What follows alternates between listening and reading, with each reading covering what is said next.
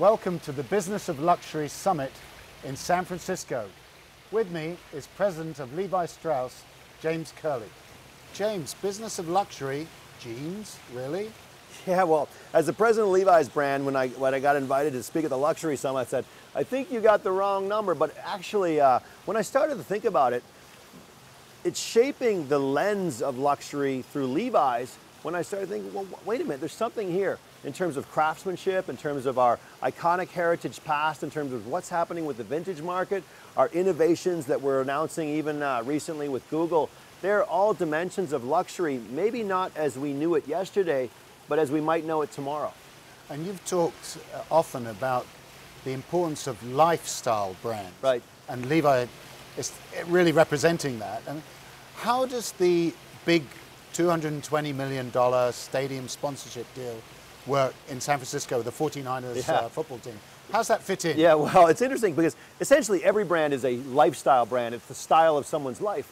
But we were one of the original lifestyle brands. We set the authentic Back in the self-expression. 1870s. I mean, all throughout the ages, from gold miners to cowboys to Hollywood, Marlon Brando, rebels with or without a cause, rock and roll, right through to the entrepreneurs who are now global leaders of companies choose to wear Levi's to work. So with that, we started thinking, well, that is lifestyle. But we're seeing the different forces of sports, we're seeing the different forces of fashion come together, and we're in that authentic center point, and we thought authentic center point deserves to be in the center of culture.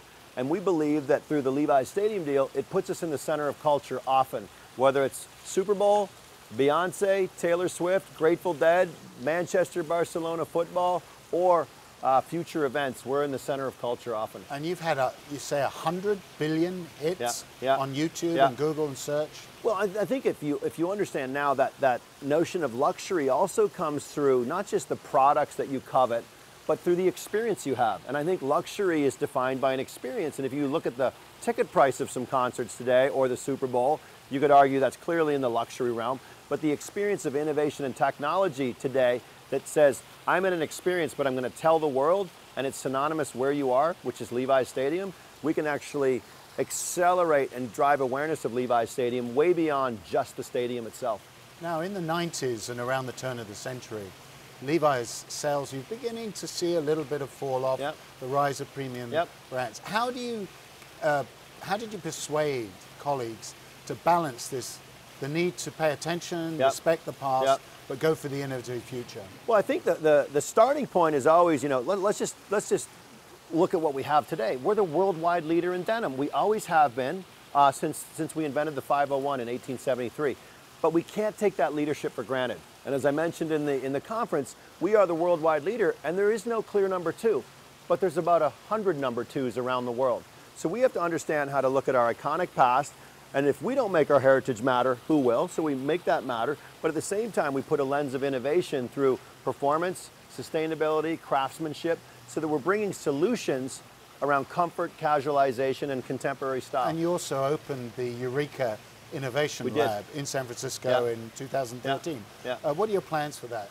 Well, if you think about the, the, the startup culture, they always start somehow in a garage or somewhere where they're innovating and they're doing things. And we said, let's recreate the conditions for success for innovation right here in San Francisco, California.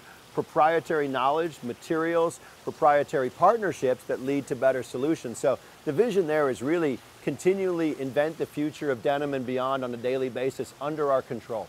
And menswear accounts for around 75% of your overall sales. Uh, you are the world's biggest belt uh, are. producer. Uh, But what do you, how are you going to win the, the ladies round? Well, I think, uh, I mean, women by definition, it's a faster moving world. Uh, picking out a pair of jeans isn't that easy.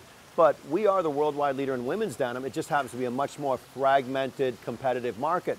Last year, we embarked on a journey to relaunch our entire denim collection, the 700 series, the 710, 711, 712, and it's rapidly becoming the, the fastest growing part of our women's collection. And we also brought in Alicia Keys to give us a little help on the music front. Right. And James, you've played in various rock bands, uh, including in London. Do you have. have. a little song for us at the end? Well, you have to end on you can't always get what you want, but if you try sometime, you just might find you get what you need. James Curleigh, thank you so much. Appreciate it. Thank you, Lionel.